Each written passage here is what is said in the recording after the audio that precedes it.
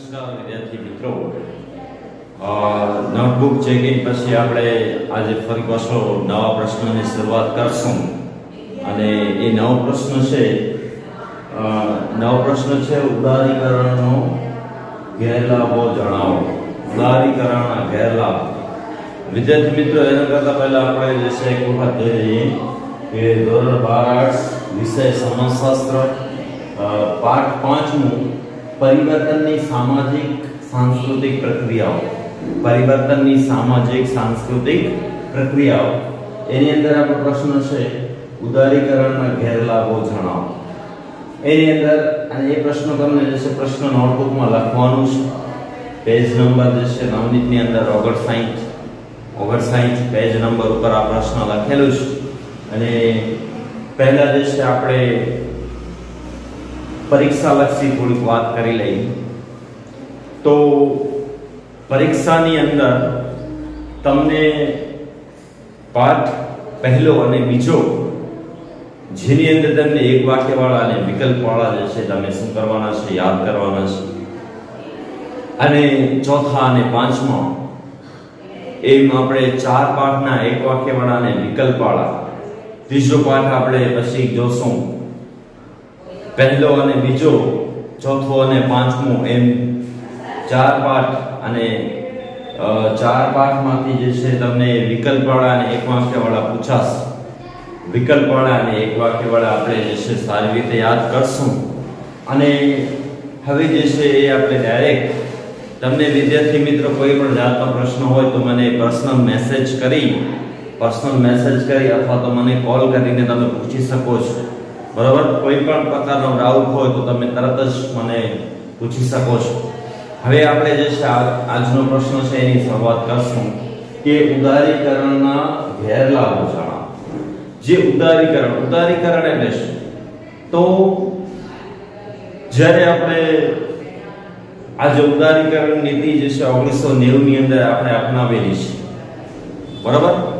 તો ઉદારીકરણની નીતિ અપનાવી તો ઉદારીકરણ એટલે શું એ આપણે પહેલા ખ્યાલ તો ઉદારીકરણ ભારતે પોતાના ઉદ્યોગો, પોતાના ભારતની અંદર જે છે કંપનીઓ સ્થાપાય, પછી મોટી મોટી સંસ્થાઓ ઓર્ગેનાઇઝેશન છે, આપણી પાસે શરૂ થાય, તો એટલા માટે ઉદારીકરણની નીતિ અપનાવી. ઉદારીકરણ એટલે શું? તો ઓછા ભાવે ઓછી કિંમતે ઓછી જે છે ચાર જે વિદેશી કંપનીઓને ભારતની અંદર જે છે એ સ્થાપવાની છૂટ આપી. ઉદારીકરણની નીતિને કારણે ભારતે જે છે એ બીજા દેશો મોટી મોટી કંપનીઓ સ્થાપવાની પરમિશન આપી અને એ પરમિશનને કારણે આપણે કયા કયા નુકસાન થયા છે? ગેરલાભ જણાવો બીજા દેશો આપણી પાસે આવી અને વ્યવસાય કરે છે. વ્યવસાય કંપનીઓની અંદર, ઉદ્યોગોની અંદર અને પોતે જે છે સારી એવી ઇન્કમ પ્રાપ્ત કરે છે, આવક પ્રાપ્ત કરે છે. તો એનાથી આપણે શું નુકસાન થાય છે? તો વધારે સમય નહીં, આપણે ડાયરેક્ટ જે છે, પ્રશ્નની શરૂઆત કરશું. કે ઉદારીકરણથી અર્થતંત્રને બરાબર? એટલે ઉદારીકરણની નીતિ અપનાવી આપણે ઉદારીકરણ કે જે ઉદારીકરણની નીતિ ન હતી, તો આપણે જે છે સારા એવા ટેક્સ મળતા. સારી એવી જમીનોના ભાવ મળતા, પરંતુ ભારતની અંદર ઉદ્યોગો સ્થાપાય એટલે ભારતે ઓગણીસો નેવું ની અંદર ઉદારીકરણની નીતિ અપનાવી. અને ઉદારીકરણની નીતિ અપનાવી તો અર્થતંત્ર, અર્થતંત્રને નુકસાન કેમ જાય તો અર્થતંત્રને અને પ્રજાને કેટલુંક નુકસાન પણ થયું છે. ઉદારીકરણના ગેરલાભો નીચે પ્રમાણે છે. બરાબર? હવે ઉદારીકરણની નીતિની સાથે અર્થતંત્ર એટલે શું? બીજા દેશના પૈસા જે છે, ભારતને મળે હવે એ ઓછા થઈ જશે કારણ કે ભારત ઉદારીકરણની નીતિ અપનાવે જે ઉદ્યોગો છે એને સ્થાપવાની પરમિશન ઓછી કિંમતે મળે છે પહેલા એ જ ઉદ્યોગોના કરોડ રૂપિયા મળતા આવે એ જ ઉદ્યોગો સ્થાપવાના જે છે એ લાખ રૂપિયા મળે છે તો જે છે એ નુકસાન થયું તો ઉદારીકરણથી અર્થતંત્રને બરાબર ઉદારીકરણથી આપણે જે છે એ સૌપ્રથમ યાદ રાખશું પહેલો મુદ્દો કે ઉદારીકરણથી ઉદારીકરણથી અર્થતંત્રને ઉદારીકરણથી આપણે જે છે એ સૌપ્રથમ કોને નુકસાન થાય છે, તો એક છે અર્થતંત્ર.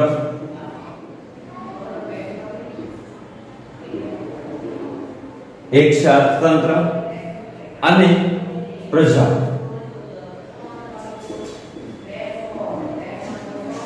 ઉદારીકરણથી એક અર્થતંત્રને નુકસાન થયું છે, બીજો પ્રજાને પણ નુકસાન થયું છે. હવે જે ઉદારીકરણના ગેરલાભો છે એની આપણે ચર્ચા કરીએ.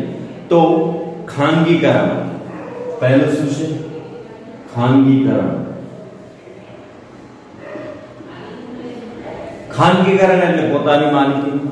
હવે ચીન કે જાપાન કે અમેરિકા જો ભારતની અંદર પોતાની કંપની સ્થાપે ચીન, જાપાન કે અમેરિકા ભારતની અંદર પોતાની કંપની સ્થાપના કરે તો એ પોતાનું જે ખાનગીકરણ, બરોબર? ખાનગીકરણ એટલે શું? કરે પોતાની માલિકીનું છે, તો એ ભારતને થોડી આપી દેશે. બરોબર? તો ખાનગીકરણ અને ઉદારીકરણને કારણે. એક તો ખાનગીકરણ એટલે પોતાની માલિકીનું જે ઉદ્યોગ સ્થાપે અને એ ઉદ્યોગની અંદર જે પોતાના નિયમો છે ચલાવે છે. ખાનગીકરણ અને ઉદારીકરણના કારણે રોજગારીની તકોમાં ઘટાડો થતા બેરોજગારીનું પ્રમાણ વધ્યું. રોજગારીનું પ્રમાણ જે છે, ખાનગીકરણ અને ઉદારીકરણ. ખાનગીકરણ અને ઉદારીકરણને લીધે શું થયું? તો ખાનગીકરણ અને ઉદારીકરણને લીધે લીધે આપણે નુકસાન થાય છે એ નુકસાન આપણે નોટડાઉન કરીએ છીએ. તો એ નુકસાન થયું છે રોજગારીની તકોમાં પહેલું નુકસાન શું છે? રોજગારીની તકોમાં ઘટાડો. બરાબર? રોજગારીની તકોમાં ઘટાડો. પછી શું થયું? તો ગરીબીનું પ્રમાણ, બેરોજગારીનું પ્રમાણ. બેરોજગારીનું પ્રમાણ વધ્યું. બરોબર? પહેલો મુદ્દો આપણે યાદ રાખશું કે ખાનગીકરણ અને ઉદારીકરણની નીતિને લીધે રોજગારીની તકોમાં ઘટાડો થયો અને બેરોજગારીનું પ્રમાણ શું થયું? બેરોજગારીનું પ્રમાણ વધ્યું. પછી બીજો મુદ્દો સસ્તી કિંમતે આધુનિક ટેકનોલોજી પ્રાપ્ત થતા સસ્તી કિંમતે સસ્તી કિંમતે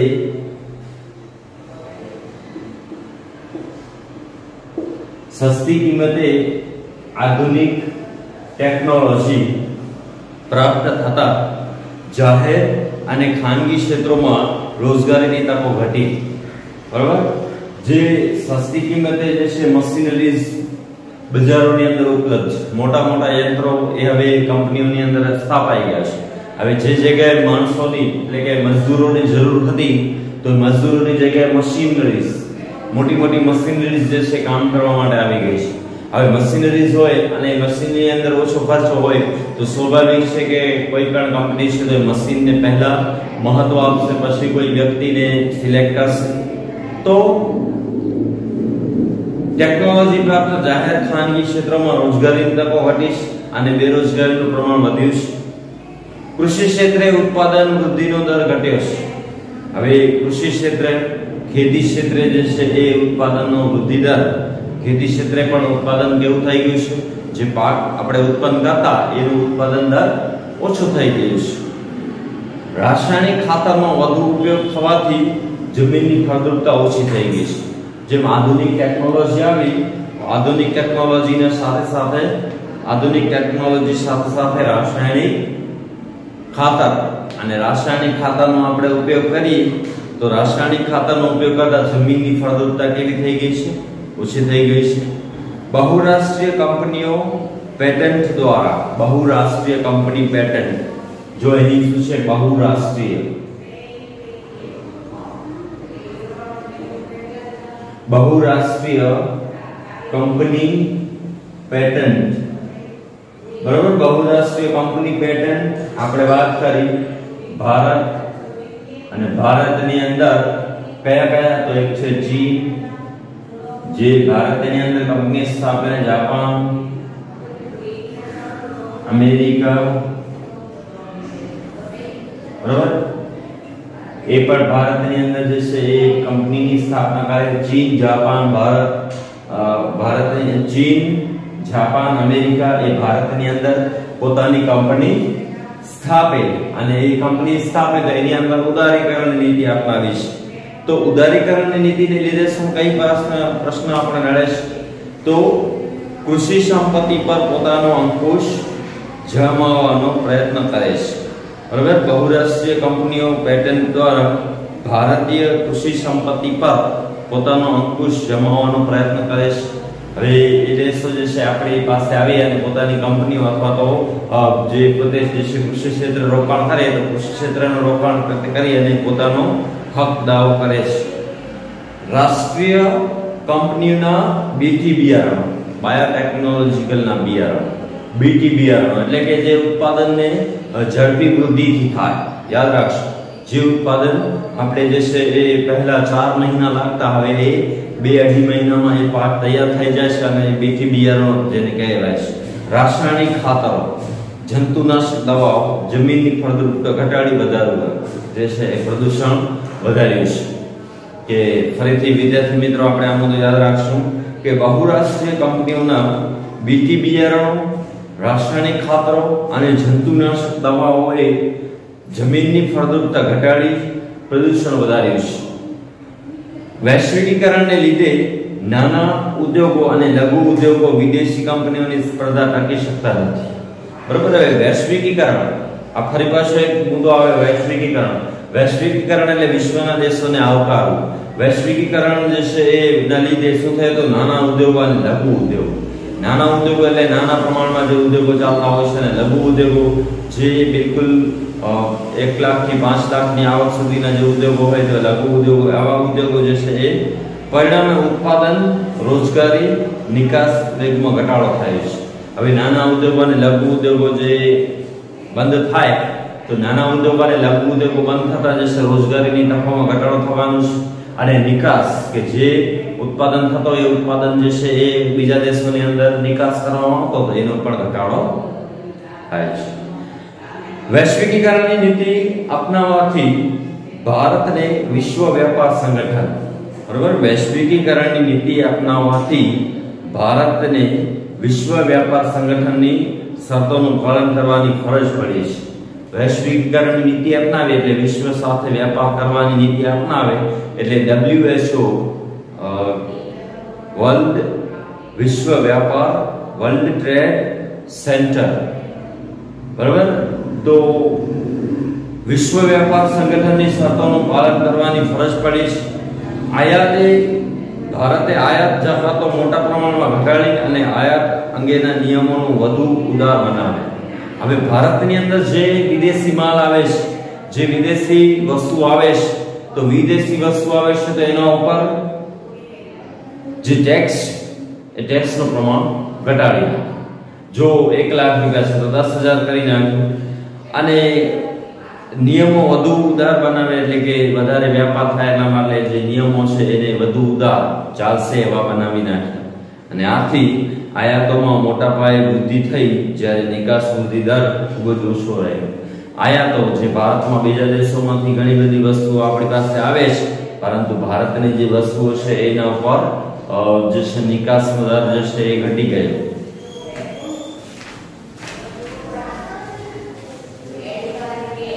ભારતીય નિકાસને બાળમજૂરી પર્યાવરણ વગેરેને લગતા કાયદાઓ અવરોધતા હોવાથી ભારતની વેપાર ખાત વધતી જાય છે. હવે જો ભારતીય નિકાસોને ભારતીય નિકાસોને જે ભારત જે નિકાસ કરે છે તે બાળમજૂરી એટલે કે ચૌદ વર્ષથી નાનો બાળક. બરાબર? હવે તો આપણે અઢાર વર્ષથી જે છે એ નાની વ્યક્તિને બાળમજૂરી કહીએ છીએ. પણ બાળમજૂરી પર્યાવરણ વગેરેને લગતા કાયદાઓ અવરોધતા હોવાથી ભારતને વેપાર વેપાર ખાત વધતી જાય છે. જો ભારતમાં કૃષિ, ઉદ્યોગ કે સેવા ક્ષેત્રની વસ્તુઓ કે યંત્ર સામગ્રી આયાતો વધે તો આર્થિક વિકાસને વેગ મળે, પરંતુ ભારતમાં મોટા ભાગની આયાતો વૈભવ, વિલાસ અને મહોત્સવને લગતી હોય છે. બરાબર? જો ભારતની અંદર જો આર્થિક વિકાસને વેગ મળે છે, યાદ રાખજો, વિદ્યાર્થી મિત્રો, આ હું ફરીથી સમજાવશું કે જો ભારતમાં કૃષિ, ઉદ્યોગ કે સેવા ક્ષેત્રની વસ્તુઓ કે યંત્ર સામગ્રીની આયાતો વધે, બરાબર? તો ભારતની અંદર જો આપણે બીજા દેશોમાં જે છે ટેકનોલોજીનો ઉપયોગ કરે છે આપણી પાસે આવે, તો આપણે શું કરશું? તો કૃષિ ક્ષેત્રને વેગ મળે છે, એટલે કૃષિ ક્ષેત્ર જે છે આગળ વધે છે. અને પરંતુ ભારતમાં, હવે ભારતમાં જે આયાત થાય છે, જે બીજા દેશોથી આપણે મંગાવીએ છીએ, તો વૈભવ વિલાસ, બરોબર? વૈભવ વૈભવ એટલે શું?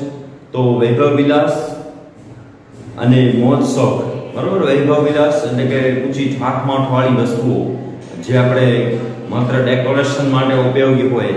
વૈભવ વિલાસ વિલાસ એટલે શું? મોજ વિલાસ વિલાસ એટલે શું? તો આપણે એની અંદર તો સારી એવી ટેકનોલોજીનો ઉપયોગ કરીને આપણે વાત કરીએ છીએ તો મોબાઈલ ફોન છે લેપટોપ છે, કે મોસકની વસ્તુઓની વાત કરીએ તો મરી મસાલા છે. બરાબર? કે પછી એના સિવાય અલગ એવી ઘણી બધી બાબતો છે જે આપણે માત્ર મનોરંજન માટે ઉપયોગ કરીએ છીએ. થિયેટરની સિસ્ટમ કે ઘણી બધી એવી વસ્તુઓ છે કે જેના લીધે આપણે થોડા પાછળ જઈ રહ્યા છીએ.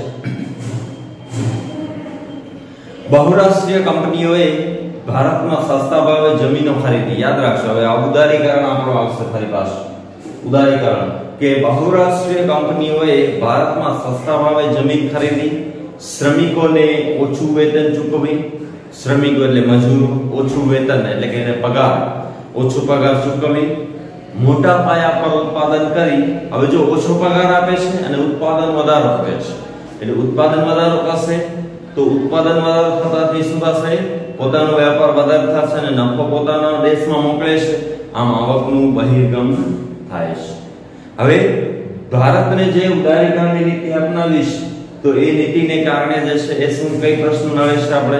તો એક તો ઓછા દરે જે છે, એમને જમીનો આપી છે ઓછા દરે જમીનો આપી છે હવે એ લોકો શું કરે છે, તો ઓછા વેતન પર મજૂરી કરાવી અને ઉત્પાદન વધારો કરાવે છે અને પોતાની જે આવક થાય છે, નફો થાય છે, એ પોતાના દેશમાં બહિર્ગમન. બહિર્ગમન એટલે બીજા દેશમાં જવું. બહિર્ગમન એટલે દૂર ક્ષેત્રે જવું. બહિર્ગમન થાય છે. આર્થિક સુધારાની નીતિના કારણે સરકારે વિવિધ પ્રકારના પ્રત્યક્ષ અને પરોક્ષ કરમાં ઘટાડો કર્યો છે. આર્થિક સુધારાની નીતિના કારણે. હવે આ યાદ રાખશો આપણે. આર્થિક આર્થિક નીતિના કારણે સરકારે વિવિધ પ્રકારનો પ્રત્યક્ષ અને પરોક્ષ, પ્રત્યક્ષ એટલે જોઈ શકાય છે તેવો અને પરોક્ષ જીએસટી અને સીજીએસટી અને એ બધું આપણે જાણીએ છીએ. પ્રત્યક્ષ અને પરોક્ષ કરમાં ઘટાડો કર્યો છે. પરિણામે સરકારના સરકારની આવકમાં ઘટાડો થયો છે. હવે જો આપણે દેશની આવક દેશની આવક મોસ્ટ ઓફ જે છે ટેક્સ ઉપર આધારિત હોય છે. ટેક્સ ઉપર આધારિત હોય છે. હવે આપણે ટેક્સ ઓછો કરી નાખ્યો. ટેક્સ ઓછો કરી નાખ્યો આપણે તો ટેક્સ ઓછો થતા જે આપણી આવક છે દેશની એ શું થશે? ઓછી જશે. પરિણામે સરકારની આવકમાં ઘટાડો થશે. સ્વાભાવિક છે જે છે એ આપણે ટેક્સ ઓછો કરશું તો દેશની આવક ઓછી થશે, દેશની આવક ઓછી થશે અને દેશની આવક ઓછી થાય તો અર્થતંત્રમાં નુકસાન થાય છે. બેન્કિંગ ક્ષેત્રના સુધારા અને રિઝર્વ બેંક ઓફ ઇન્ડિયા એ બચત અને બાંધી મુદતો થાપણો વ્યાજ દર ત્રણથી ચાર ટકાનો ઘટાડો કર્યો છે. બરોબર? હવે હવે જો દેશની અંદર પૈસા નહીં હોય તો રિઝર્વ બેંક ઓફ ઇન્ડિયા એટલે કે RBI reserve bank of India એને રિઝર્વ બેંક ઓફ ઇન્ડિયા શું કરી નાખ્યું? ત્રણથી ચાર ટકાનો ઘટાડો કર્યો છે. સહકારી ક્ષેત્રે પણ બચતોનો વ્યાજદર ઘટાડો થાય છે. પરિણામે નિશ્ચિત વ્યાજની આવક ધરાવનારો મધ્યમ વર્ગ અને પેન્શન પર આધારિત વર્ગનું મોટું આર્થિક નુકસાન થયું છે. કે જે લોકો દેશની જે બેંકો છે, આ બેંક છે, તો બેંકની અંદર પોતાના પૈસા જમા કરાવ્યા છે અને એ જે છે એમને જે ટેક્સ છે એ 3 થી 4 ના દરે જે ઓછો કરી નાખવામાં આવે, તો જે એમને દર મહિને પંદર હજાર મળતા, એની જગ્યાએ દર મહિને આઠ હજાર મળે છે. તો આઠ હજાર મળશે તો એ આઠ હજાર એમને નુકસાન થયું કહેવાય. પરિણામે નિશ્ચિત વ્યાજની આવક ધરાવનાર મધ્યમ વર્ગ. યાદ રાખશો, મધ્યમ વર્ગ પેન્શન પર આધારિત વર્ગને આ મોટું નુકસાન થાય છે. વિકસતા દેશો વિકસતા દેશો ઉદારીકરણના નામે પ્રદૂષણ વધારતા ઉદ્યોગો ત્રીજા વિશ્વના દેશોમાં ઊભા કરી પર્યાવરણને અસંતુલન ઊભો કરે છે. બરોબર? વિકસતા દેશો ઉદારીકરણના નામે વિકસતા દેશો જે ભારત છે, એ વિકાસશીલ દેશ છે. જે વિકસતા દેશો છે, એ શું કરશે? ઉદારીકરણના નામે પ્રદૂષણ વધારતા ઉદ્યોગો ત્રીજા વિશ્વના દેશોમાં ઊભા કરી હવે પોતાના દેશમાં નહીં, પરંતુ બીજા દેશની અંદર પોતે ઉદ્યોગો સ્થાપે છે અને પર્યાવરણનું કોઈ એમને ટેન્શન હોતું નથી.